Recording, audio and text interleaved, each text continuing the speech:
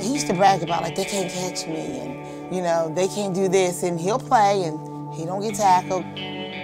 Sixth grade, I changed league and we ended up going 8-0. I didn't get tackled the entire year. Win a championship game and a kid kind of grabs my jersey, he swings me down and the whole crowd start screaming, just yelling because I got tackled. Everybody roared, everybody cheered. Um, he was mad. I'm like, eventually somebody was gonna tackle you. it's just. I was all disappointed. My mom like, why are you so upset? I'm like, cause I got tackled today, mom. She was like, that's part of the game. I knew eventually he would get caught, but in his world now.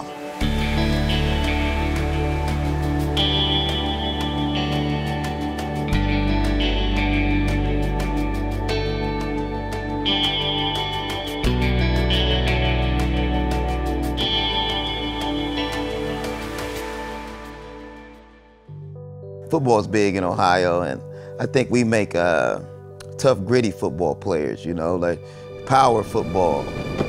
They talk about football in Texas, but football in Ohio is about hard work, about tradition, it's about perseverance and adversity. I definitely take pride in where I'm from, um, in the state of Ohio. All the way up until sixth grade, we stayed in, you know, a, a tough neighborhood. You know, it was kind of, um, you know, rugged. You know, there's a lot of, you know, drug dealing and you know, fights. The neighborhood that he grew up in uh, is known as uh, Uzi Alley.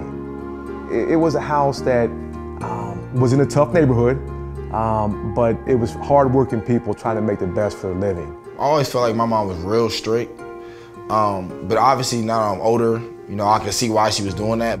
She, she raised me and two of my younger brothers on her own, you know, so she's a strong-willed woman. He recognized that hard work in his mom, and it really transcended him to where, you know, he is today. It was really all like a, a, a close family because I live right next door to my parents. And then my um, oldest brother, Clarence, he didn't live far. You know, my son is a year older than Le'Veon, so they came up together. You know, we throw the ball in the yard, we might run some routes and learn how to take a handoff.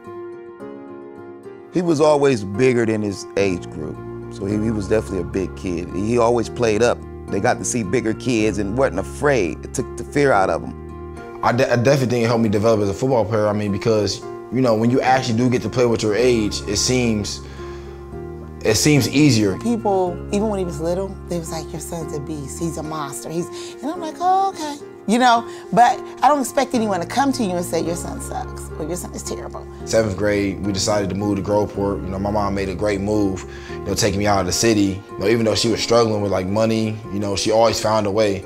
I don't know if I would be where I am now if I didn't, if I stayed in that, you know, in that facility. First day of school, I get a call on the radio saying that, that there's a ruckus, and I see this circle.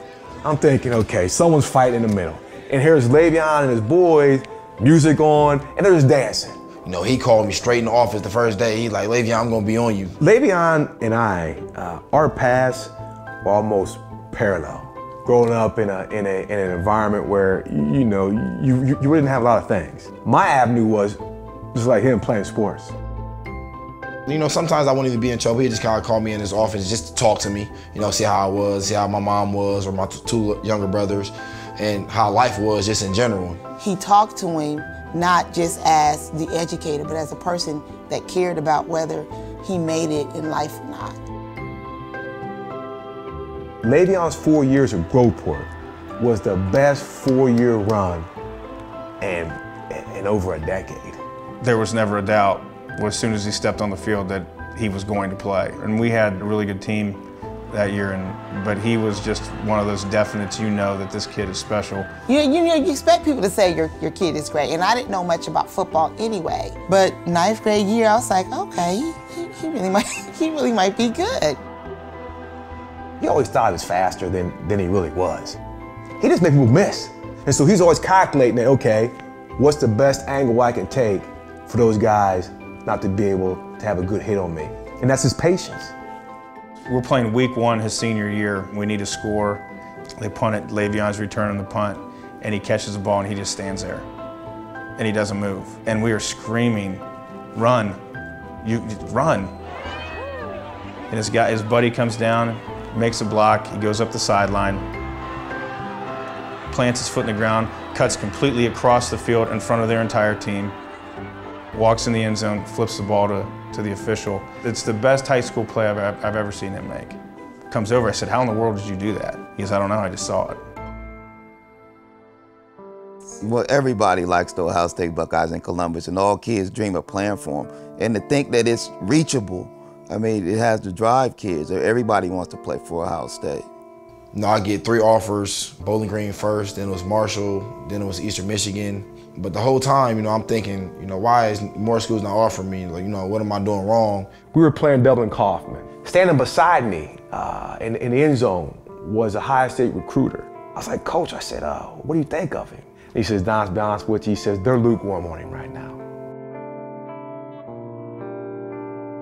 It's tough being a kid when you look on rivals and you see guys that you you think and you know that you're probably better than as a player and they're ranked higher than you. I think I literally looked at rivals every day. I would look at running backs and I would look at other players who's getting recruited, you know, highly, getting LSU offers and Ohio State and and I just kind of compare my game to those guys, and I'd be like, you know, I'm doing the same thing he's doing, or you know, I can do this better, and things like that. So, you know, people never gave me the respect that I felt like that I deserved. He was so consumed with the rivals rating, and really what what kind of got lost in it sometimes was what's the work I have to do to get there. Things came to him so easy that he just didn't feel like he had to work that hard, which he didn't have to.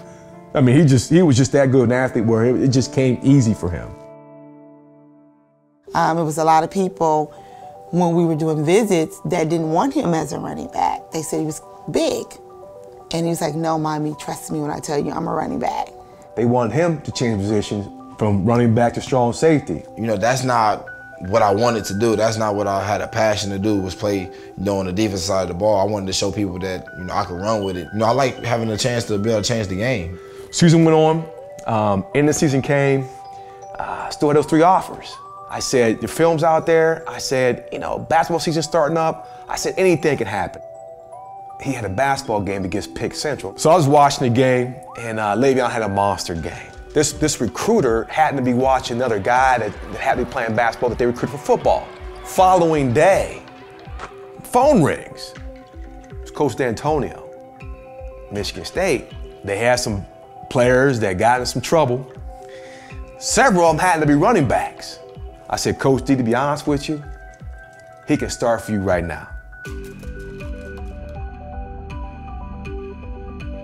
I really just one of the players who really got overlooked. And I'm lucky I end up getting the Michigan State offer um, and going there and playing on the big stage so people can see what I'm able to do. He wants to prove a point. I'm the best running back. It's tough when you're a young kid and you're not getting the offers that you think you should get. It's tough looking on and, and daily being told that maybe you're not wanted. But I think it really kind of fueled him more than anything. For me, it just kind of created, you know, like a beast.